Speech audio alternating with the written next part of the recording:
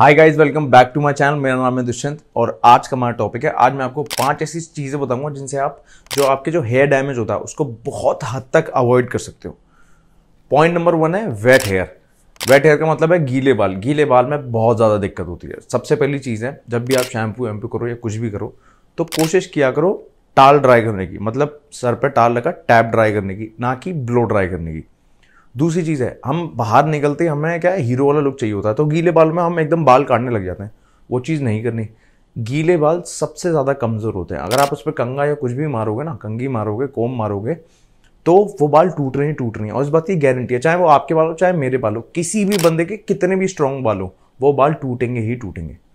दूसरी चीज़ है, आपको गीले बालों में कभी सोना नहीं चाहिए। तकिए पे आपका मुँह इधर उधर करके वो करते रहते हो, पूरी महाभारत सी तकिए के साथ तो वो तकिए पे भी गीले बाल टूटेंगे। बाल कमज़ोर बहुत ज़्यादा हो जाते हैं।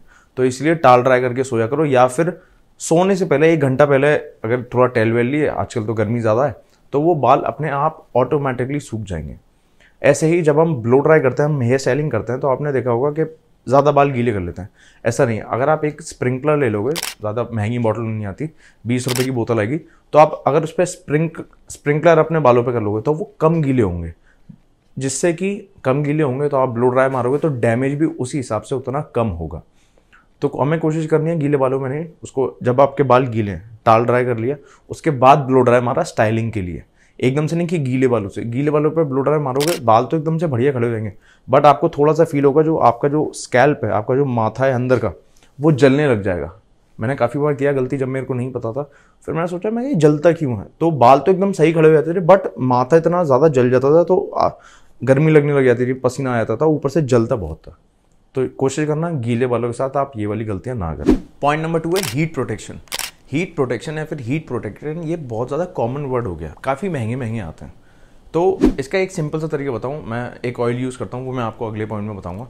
बट मेरे पास हीट प्रोटेक्शन भी है स्प्रिंकलर भी है। अब ये जो मैं यूज़ करता हूँ, ये है जब मैं अपने, इसको स्प्रिंकलर कहते हैं बेसिकली तो जब मैं अपने बालों में लगाता हूँ, ये बालों में शाइन ऐड कर लेता अब इसमें कहीं भी ये नहीं लिखा हो कि एज अ मतलब हीट प्रोटेक्शन काम करता है, क्योंकि ये प्री स्टाइलिंग में काम आता है। प्री स्टाइलिंग मतलब ब्लो ड्राइंग से पहले वाले। तो प्री स्टाइलिंग में काम आता है तो ये बालों में आपके शाइन डालता है। मतलब बाल इससे बहुत ज़्यादा हेल्दी लगते हैं। बट क्या आपके बाल एक्चुअल में हेल्दी होते हैं? देखो, अगर आप हीट प्रोटेक्शन यूज़ नहीं करोगे, ये डाल लोगे तो लुक तो आपको बहुत ज़्यादा एकदम एकदम पफी पफी आएगा कि यार आपके बाल एकदम हेल्दी एकदम शाइन कर रहे हैं। बट एक्चुअल में बाल वो हेल्दी नहीं होते। तो ये अभी जैसे मैं बालों में अभी भी मार के आया हूँ। इनफैक्ट जैसे कि आप देख सकते हैं तो हीट प्रोटेक्शन बहुत ज़्यादा ज़रूरी है। अभी हीट प्रोटेक्शन आप कैसे भाई, जिनके पास पैसे नहीं है, जो जैसे लोअर मिडिल क्लास से आते हैं मेरे भाई, वो क्या करें वो कोई भी ऑयल यूज़ कर रहे हैं। ऑयल मैं आपको अभी तीसरे पॉइंट में बता दूँगा। प्री स्टाइलिंग में आप ऑयल यूज़ कर सकते हैं बट ऑयल थोड़ा सा कम यूज़ करना है। ऑयल क्या करता है, बालों को भारी कर लेता है, फिर वो मेरे बाल तो घूमना ले जाते हैं, वो गिरने लग जाते हैं। तो ऑयल कम से कम यूज़ करना है आपको हीट प्रोटेक्शन में। तीसरा पॉइंट है ऑयल योर हेयर अब ये आजकल के बच्चे जिनके बाल ज़्यादा जल्दी सफ़ेद हो रहे हैं, उन सबको ये प्रॉब्लम आ रही है। आपने देखा छोटे मोटे पंद्रह पंद्रह सोलह सोलह साल के लड़कों के बाल ख़राब हो रहे हैं। वो बाल क्यों ख़राब हो रहे हैं? क्योंकि ये लोग बालों में ऑयलिंग नहीं करते हैं। ये लोग ऑयलिंग को बहुत ज़्यादा बोरिंग समझते हैं। इनफैक्ट अभी जब मैं स्टाइलिंग कर रहा था, हमारे कैमरे के पीछे अरसलान भाई बैठे इनके बाल बहुत ज़्यादा रफ हो रहे थे। ये है कि भाई, मेरे बाल छुके देखना बहुत ज़्यादा रफ हो रहे हैं। मैंने कहा, कह रहे मैं ऑयलिंग नहीं करता हूँ। तो मैंने ये वाला ऑयल रिकमेंड किया, जो मैं आपको अभी यूज़ करता हूँ। ये है उस तरह का आयुर्वेदिक हेयर ऑयल अब इसमें करना क्या होता है? फिर जब मैंने इनके बालों में बाल लगवाया तो अब अभी तुम्हारे बाल सही हैं? थोड़ा थोड़े बहुत तो सही है ना? मतलब पहले जो बेसिकली जो वो थे रफ रफ उससे तो बेटर है ना? हाँ तो एक्चुअल में ऑयल की इंपॉर्टेंस बहुत ज़्यादा होती है। अब आपने पुराने ज़माने में देखा होगा कई कई लोगों के बाल आज तक जो ताया, तुम्हारे दादा, दादाजी, वो दादी दादी, दादाजी, नाना, नानी, पुराने लोगों को देखना हमेशा बाल घने मिलेंगे, या क्योंकि वो चंपी बहुत ज़्यादा करते हैं। आजकल के लौंडे लापाड़ों के क्या बाल हो रहे हैं? ऑयलिंग करते हैं नहीं? पहले के लोग क्या करते थे, जैसे हमारी माता जी वगैरह, मेरे तो बहुत, मेरे पिट पिट के तेल लगवाया है। इसका इसका इकलौता कारण है कि मेरे बाल अभी तक बचे हुए हैं। मेरे कॉलोनी में काफ़ी छोटे छोटे बच्चे हैं। उनके बाल एक तो सफ़ेद हो गए। मतलब आजकल की टेंशन सबसे बड़ी है बाल सफ़ेद होने की। दूसरी टेंशन आती है बाल जाने की। बाल बचते ही नहीं है। ये प्रॉब्लम है। तो ऑयलिंग की इंपॉर्टेंस आप लोग समझो। मैंने अभी मेरे भाई को उस तरह का आयुर्वेदिक हेयर ऑयल अभी उनके बालों में लगवाया, जो कि मैं एक्चुअल में लगा रहा था। तब इनके बालों में थोड़ा सा डिफरेंस आया। तभी ये बोल रहे थे, एकदम बाल एकदम सिल्की वगैरह से हो गए। तो ये ऑयल बहुत ज़्यादा अच्छा है। मैं तो इसको फुली रिकमेंड करूँगा, क्योंकि मैं इसको प्री स्टाइलिंग में भी यूज़ कर लेता हूँ, मैं इसको पोस्ट स्टाइलिंग में भी यूज़ कर लेता हूँ। इनफैक्ट चंपी वगैरह करके सोता हूँ तो भाई मेरे, अभी मेरे बाल मेरा बिज़नेस है। अगर मैं गंजा हो गया तो तुम लोग मेरी वीडियोज़ नहीं देखोगे क्योंकि पहले तू अपने बाल तो बचा ले। तो एक्चुअल में मैं ऑयलिंग की इंपॉर्टेंस जानता हूँ। मैं हर तीसरे दिन में अपनी छोटी बहनों से, अपनी माता जी से, मासी वगैरह से चंपी करवा लेता हूँ उस तरह के आयुर्वेदिक हेयर ऑयल्स अब आज की मार्केट में हर कोई अपने हेयर ऑयल या हेयर प्रोडक्ट्स को आयुर्वेदिक बोल देता है, लेकिन ट्रस्ट करना थोड़ा मुश्किल होता है। मैं इस प्रोडक्ट को पूरा ट्रस्ट करता हूँ क्योंकि मिनिस्ट्री ऑफ़ आयुष इसे ट्रस्ट करती है। जी हाँ ये hair oil ministry of Ayush से वेरीफाइड है एज एन आयुर्वेदिक मेडिसिन उस तरह आयुर्वेदिक हेयर ऑयल बना हुआ है ट्रेडिशनल इंडियन तरीके से, जो हमारे दादा दादी टाइम पे यूज़ होते थे। वो थोड़ा ज़्यादा मेहनत करते थे, ऐसे ऑयल खुद बनाते थे और ईजीली अवेलेबल थे। बट अब ये हर्ब्स मिलना बहुत मुश्किल है। इसलिए उस तरह ऑयल लेके आया है आपके लिए। इसमें है अश्वगंधा, जो हेयर को मज़बूत बनाता है और स्ट्रेस रिलीव करता है। भृंगराज, जो ब्लड सर्कुलेशन को इम्प्रूव करता है।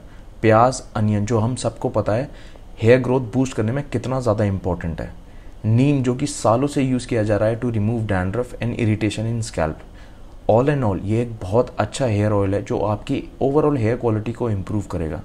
एंड इतने सारे अमेजिंग इंग्रेडिएंट्स होने के बाद भी it's very light and non sticky आप हेयर वॉश करने से एटलीस्ट एक घंटा पहले इसको यूज़ करें। बेस्ट रिजल्ट्स के लिए रात को अच्छे से चंपी करके सो जाए। वैसे मैं रात को ऑयल लगाना रिकमेंड नहीं करता बट क्योंकि ये नॉन स्टिकी है और बहुत लाइट है तो आप इसको ओवर नाइट रख सकते हो। क्योंकि जो नॉर्मल ऑयल्स होते हैं, बाकी जो ऑयल्स होते हैं, वो एक्ने क्रिएट करते हैं। और वैसे तो ये उस तरह एक मेंस ग्रूमिंग ब्रांड का प्रोडक्ट है but it's safe to use for both man and women मैं उस तरह के प्रोडक्ट्स तब से यूज़ कर रहा हूँ जब से मैं एक यूट्यूबर भी नहीं था। जितना मुझे याद है, उस तरह पूरी, इस पूरी इंडस्ट्री में जो मेंस ग्रूमिंग इंडस्ट्री है, इसमें सबसे पहले आया था। मतलब हम छोटे छोटे थे, जब हम उस तरह की वो मैगजीन्स वगैरह के फ़ोटोज़ वगैरह देखते थे, उसमें अप्लाई भी करते थे, खैर। उस तरह के जितने भी प्रोडक्ट्स हैं, वो सारे सेफ़ हैं, किसी भी प्रोडक्ट में किसी भी तरह का कोई भी हार्मफुल केमिकल्स नहीं है। वैसे तो ये आयुर्वेदिक ऑयल उस तरह का प्रोडक्ट है और उस तरह एक मेंस ग्रूमिंग ब्रांड है। But it's safe to use मतलब इसको लड़के भी, स्त्री, पुरुष दोनों यूज़ कर सकते हैं। मैं ये हेयर ऑयल आपको ज़रूर रिकमेंड करूँगा और अगर आपको भी ये हेयर ऑयल लेना है, आयुर्वेदिक तो इसका लिंक मैंने डिस्क्रिप्शन में डाल दिया है। And use this coupon code दुश twenty to get extra twenty percent off on Ustraa's official website ये प्रोडक्ट फ्लिपकार्ट एंड अमेजोन पे भी अवेलेबल है तो नीचे जाके लिंक चेक करो। फोर्थ पॉइंट है avoid funky hair colours funky hair colour से मेरा मतलब है मतलब टिकटॉक का जो ज़माना होता है, लाल, पीले, काले, नीले, उल्टे, सीधे झाड़ू ऐसे बाल करा लेते हैं। ये हैं भाई, ये जो कलर्स हैं, ये आपके बालों की सबसे ज़्यादा वो करते हैं, सबसे ज़्यादा आपके बालों को बदतर करते हैं। तो ऐसा नहीं करना चाहिए। मैं ये, आप ये रंग कराने की सोचो ही मत। भाई, कितना भी बड़ा आर्टिस्ट हो, कितना भी बड़ा हो, बहुत सारे लोग इस पर टेक्निकल फैक्टर्स ले आएँगे कि भाई, हम तो ऐसे बाल करते हैं, या फिर दानिश गहन के बाल तो डैमेज नहीं होते। तो दानिश गहन किसी अच्छे उन पर जाता था सलों वालों पर उनका नाम शायद मेरे को याद नहीं। Imran into you I guess उन पर जाता था तो यार, उन लोगों को क्या पता नॉलेज है और क्या पता कभी कभार किसी के बाल नहीं डैमेज होते। पर ये ज़रूरी नहीं है जैसे बाल उसके हैं और आपके बाल भी वैसे हैं। तो उसके नहीं डैमेज हो रहे, इसका मतलब ये नहीं कि आपके डैमेज हो जाएँगे। बहुत सारे ऐसे वीडियोस देखे थे मैंने, उनके बाल झड़ रहे थे। ऐसे मतलब बाल पकड़ रहे थे और वो बाल नीचे गिर रहे थे। तो ये उल्टे सीधे तड़कते भड़कते रंग मत कराए करो। ऑल राइट गाइज़ आज के लिए बस इतना ही। आई होप आपको वीडियो पसंद आए। पसंद आए तो प्लीज़ लाइक शेयर चैनल को सब्सक्राइब कर देना। Thank you so much for watching this video styling पूरी करनी है क्योंकि कोचिंग वगैरह में ड्रायर व्रायर मार के जाते हैं, बाल ऐसे खराब होते हैं। एक तो टिकटॉक ने माँ बेनिक करी है, सबके बालों की। टिकटॉक ने बहुत बुरी माँ बेनिक करी है। ये लाल पीले कलर करा के निकलते हैं ना।